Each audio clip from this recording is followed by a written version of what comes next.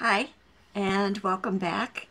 I have uh, decided to do a video, even though it's only been a few days since I did my Maynia plans. Today is May 3rd. It's my father's 86th birthday.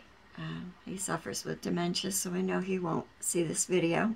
Even if he did, it wouldn't mean anything to him. Um, but thinking of him means a lot to me. Just like it means a lot to me that uh, you stop by and watch my videos. I truly appreciate it. Um, let me see. Let me widen it out a little because it's a little too close. There you go. You can see grandfather back there in the corner. Um, yeah, well, I've done some stitching since I recorded my Maynia plans, and I'm doing pretty good. Uh, May 1st was my Alma Lynn start. It was Priscilla Francis White Hanky, and I was all excited to start this. Let me see if I can get to her. There she is. And I will show you her picture. Um, she is an adorable uh, red, white, and blue dressed bunny holding an American flag with a heart where the stars should be. And it's wonderful. I really like it. Um, I'm wondering if I can show you part of this pattern. I really doubt anyone is going to stitch this, but you never know. So let me just fold up part of what I haven't stitched and show you part of this pattern. Now, do you see that? This is an old book, and this is out of a book. And as you can see by the symbols, it's a hand-drawn chart. Which wouldn't be so bad if in the key, let me see if I can find, I think I'm just using the key out of the book. I don't know how anybody really did it because if you look at this key, you can see that there are places in the chart shown by these carrots. Like this is ecru. Well, it's got four different symbols. And I think because it's a hand-drawn chart, like if they're dividing into like a half stitch or a quarter stitch, they've shown the symbol in a different format which wouldn't be so bad, except in things like, let me see if I can find it. Um, here, beige gray medium, number 644, DMC. Well, that is not only an X, it's the number 4.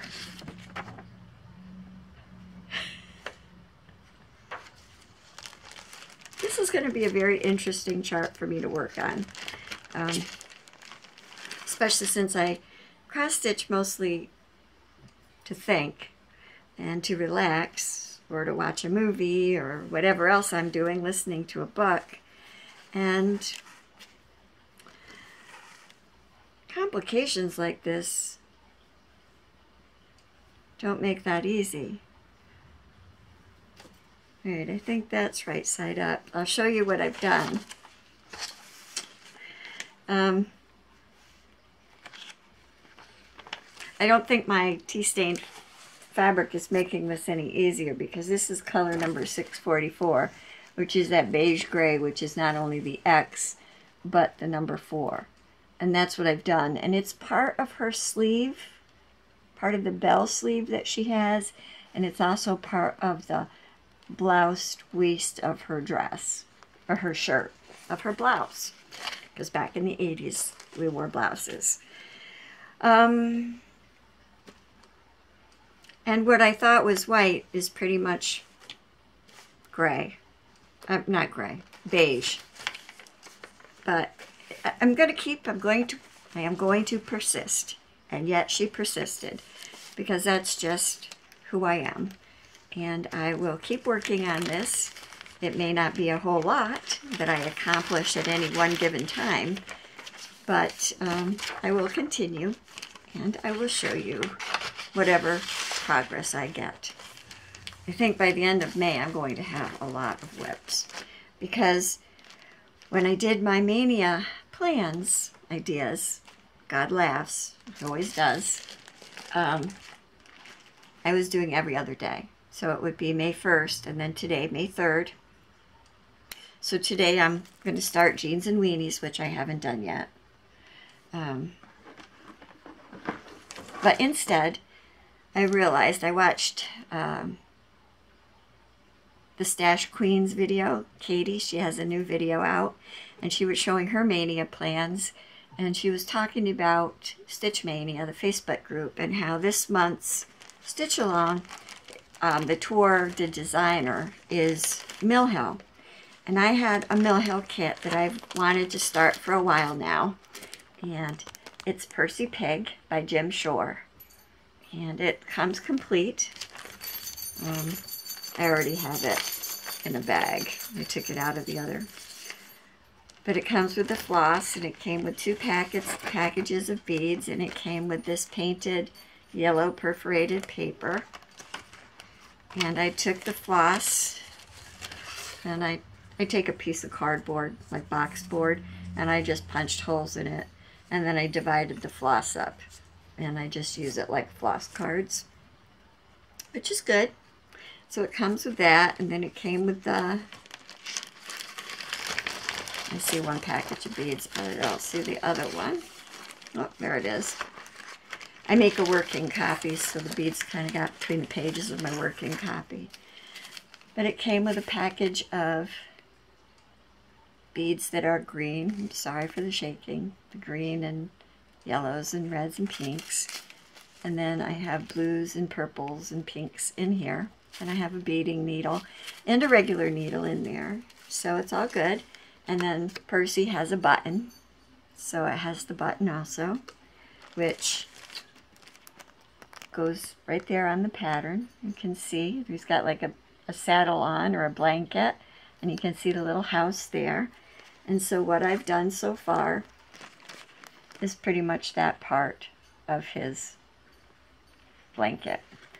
And I was looking at my pattern and for those two colors, the black and the uh, dark gold, I think those are the only stitches.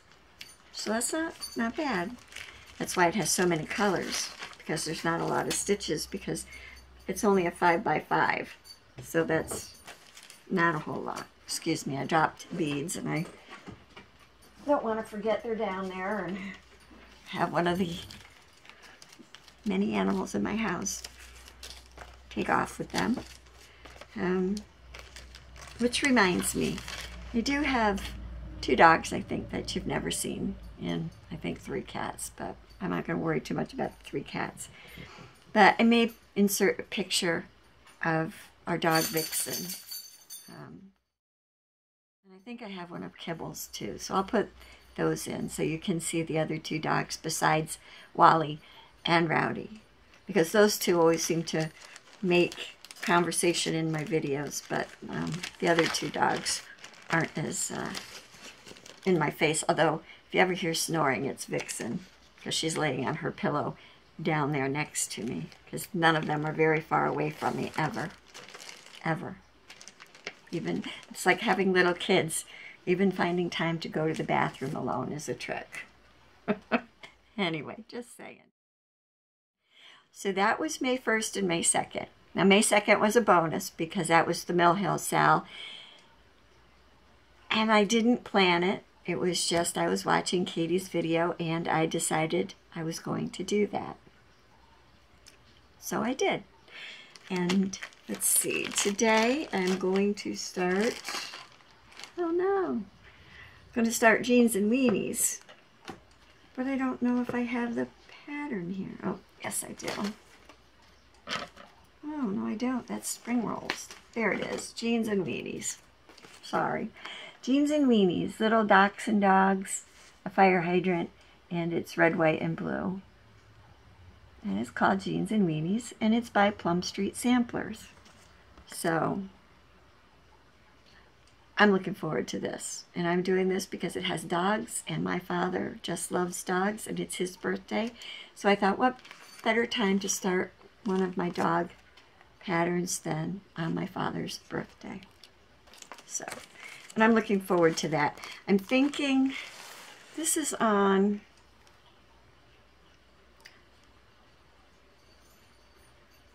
Thirty-six count vintage pecan butter. And it says it's using one strand of floss over two linen threads. But I'm going to do it on 18 count vintage country mocha that I got at 123 Stitch. It's a little bit darker, I think, than the color that shows up here.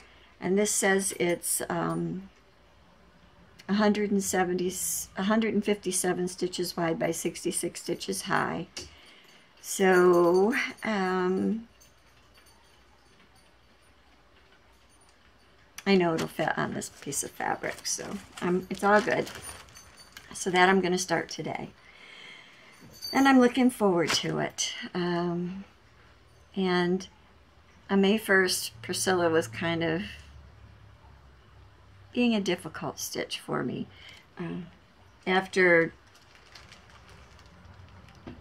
hand dyeing this uh, uh, light oatmeal fiddler's cloth. It was already 18 count, and I think the holes may have gotten even smaller. And I always use a magnifier when I stitch. I use, um, actually I use this visor. It's kind of like Mag Eyes. This is one I've used for doll making.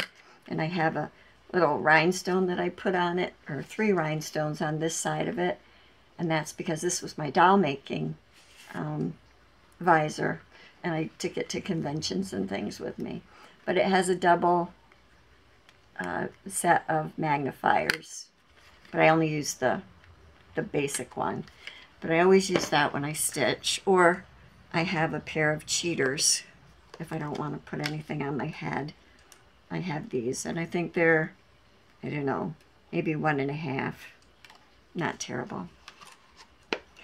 Um, but I was having a really hard time seeing that gray beige on this fabric, even with all my, with my daylight lamp and my magnifiers. So, instead of struggling and frustrating myself, I put those few stitches in and then I moved on. and what I moved on to was actually back to and that was my um, Satsuma Street Elephant Biscornu. And that's what the biscornu will look like. And then that's what the back of it, or the bottom of it, I guess, will look like. And I actually finished the front of it. And that's what the front looks like well, I have to do the eyes for the elephant, but I don't know that I'm going to give them the yellow eyes that it's um, charted for. I think I'm going to do something different. And then I started the back. I got a few stitches into the back, and I'm hoping and praying that the back and the front are both going to fit on this fabric and that uh, I'll be able to cut it apart, put the running stitch border or the back stitch border around it that you have to sew the two halves together with. And um, that it will all be good. I'm thinking it will. It should be. And in my other video, I was saying how the pattern, that was my PC shutting off, uh, how the pattern said top. Well, when I got to the back of the pattern, the back says bottom. So it wasn't saying top of the chart, it was saying top of the piece. So, okay, duh. Anyway, at least I answered my own question. And my needle minder on this is a black and white kitty cat that I made myself. I love cats. Um, yeah. So this is nice. I showed it to my daughter Alexandria because I'm making this piece for her because she loves elephants. And she's doing uh, an elephant, I think it's a di dimensions kit, like a, a, savannah elephants, like a mother and, ch and children. And it's coming along really well. She showed that to me yesterday. And uh, we were doing a, Facebook Messenger has video calls just like um, Skype and things. So we were doing one of those calls. That's how we talk to each other because she lives in San Antonio, Texas now. So it's fun. And uh, so we caught up with some of our stitching. And then let's see. Oh, Katy also was talking about May the 4th be with you.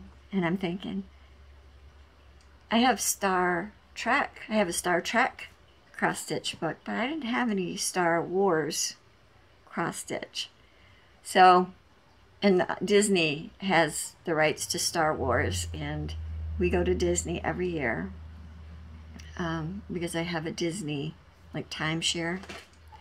And um, so I went online to Etsy, and there's a Etsy shop called Stitchline, and I'll put the link in the box below and she had a bunch. I think she has like 36 Star Wars charts, but the one I got was uh, a BB-8, and I don't have a picture of it here. If I can get a picture, I will post one here to show you what it looks like. But, uh, so I downloaded that, and I'm going to start that tomorrow. So my Stitch Maynia is really turning out to be mania. Yes. Kelly Bell is crazy. anyway, so tomorrow I do intend to start um, BB-8 for May the 4th be with you. So much for my Maynia being every other day. So far it's been a new start every day. Um, and let's see, and the 22nd of May is Katy's birthday. And so that's going to be something royal or with a crown. And I haven't really decided what to do for that. I hate to say it, but HAED, the HAED website is having a sale for Mother's Day, and it goes until the 7th. And I have so many big projects. I mean, I really need an intervention. but Queen Elhissabeth is a cat and she's holding a mouse in her paws. And I don't own that chart yet. She's on my wish list. I was thinking I could start that. I could buy that chart and start that for Katy's birthday.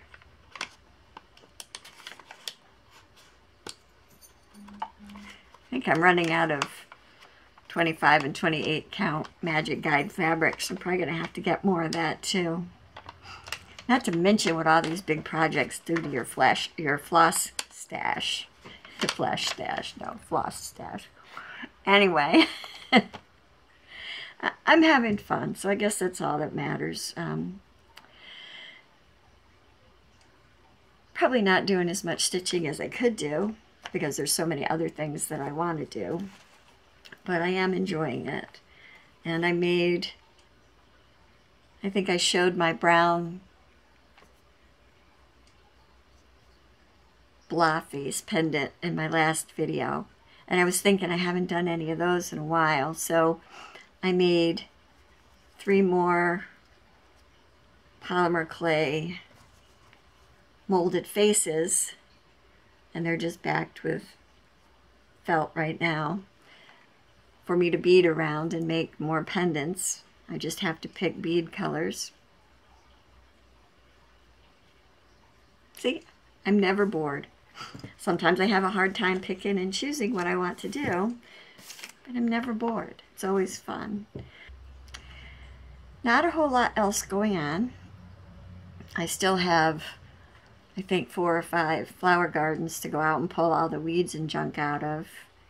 Um, but it's been rainy and cold here in New York the last two days, and it's kind of rainy and cold out there today.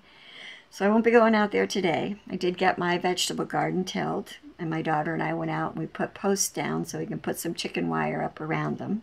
And then we'll put some pinwheel on, pinwheels on the stakes to try to keep the deer and stuff off our sunflowers and vegetables.